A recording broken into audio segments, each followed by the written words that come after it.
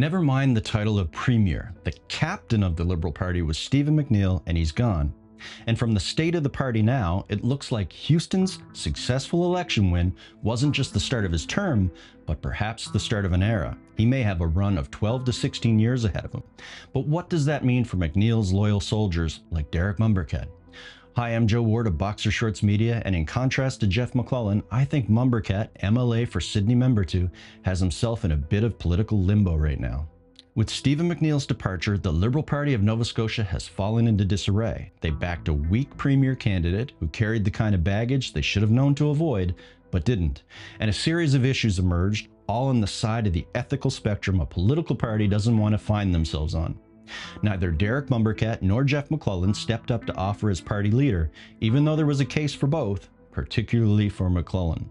However, MacLellan knew when to jump ship and has since removed himself from political exile by shaking hands with Houston and giving a strong indication that despite being raised up politically under a liberal roof, he was serious about trying to work in a bipartisan manner. We'll see where it goes from here, but he certainly stirred up controversy among the liberal ranks. In a series of tweets, conservative turned liberal insider Stephen Tobin took exception with some tweets from Zach Churchill and Kelly Regan. CBC described Tobin's role with the Liberal government as Director of Strategic Initiatives for Premier Iain Rankin's office and formerly Director of Strategic Communications under Premier Stephen McNeil. Tobin didn't mince words, and rather than give you a snippet, let's take a look at each of the tweets. Before I do, keep that role of Director of Strategic Communications in mind. Referring to the Churchill and Regan tweets he took exception to, the following tweet thread began. Anyone who is curious about the current state of the Liberal Party of Nova Scotia and wondering how they have dropped from a strong majority government into the bowels of political oblivion needn't look any further than these two backhanded, double edged, petulant statements. Geoff MacLellan was one of the most conciliatory politicians in recent memory. He built and maintained positive relationships across party lines in the best interests of Nova Scotians. In this case, he and Tim Houston have taken the high road. Meanwhile, his former colleagues simply can't seem to help themselves. They continue down the path of juvenile chirping, likened to the halls of junior high, which only solidifies why the party is in disarray and why it has lost and continues to lose people of substance. If liberals in this province ever want to pave a potential path back to government, which at this rate seems highly improbable in the short term, then it starts with dismantling the cabal of childish nonsense and, quite frankly, growing up. Whether this uncharacteristic candor from an insider is based on running into issues within the party for himself or not, there's no doubt that this represents the type of frustration that breaks free from the control of a fractured party. But here's the thing this same Zach Churchill is running for leadership now, and it's one of his comments that a Cape Breton Liberal Party insider was referencing. A top insider who was able to climb as close to the top as you can get without being elected.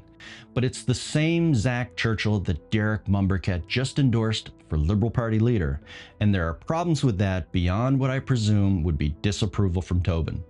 Firstly, if Mombourquette planned to stay within a defeated Liberal Party, held under the shadow of a now popular Houston led government, if the polls are at all accurate, then he should have stepped up to run for leadership himself and gave Cape Breton another chance at a locally grown premier. That would be leadership for home.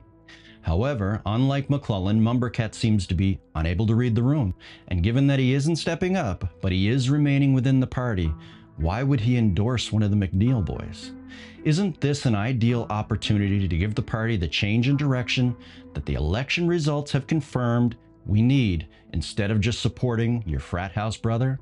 I know people enjoy discovering finds among heavy garbage, but to get a fresh start, shouldn't we give up on the idea of recycling worn out parts of the previous version of the party? Without McNeil, they can't hold the line.